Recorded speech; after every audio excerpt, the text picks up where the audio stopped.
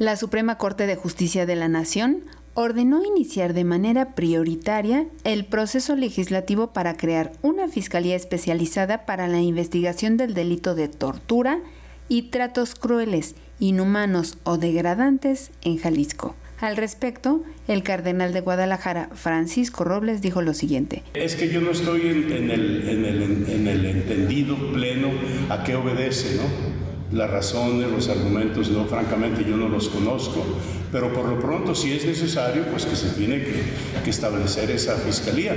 Pero digo, mientras tanto, no es que esté desatendido este rubro, está atendido a la manera. Si se requiere eh, más específicamente como una fiscalía, pues los que tienen la autoridad lo saben.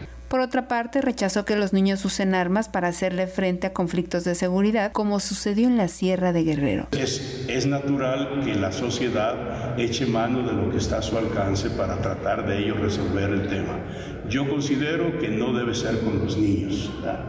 Los niños este, no pueden ser eh, usados, manipulados en el sentido de poner en riesgo su, su integridad, su futuro, su vida, este, porque son niños, precisamente son niños, no están en el pleno eh, uso de, su, de sus facultades, de su libertad. UDGTV Canal 44, Elizabeth Ortiz.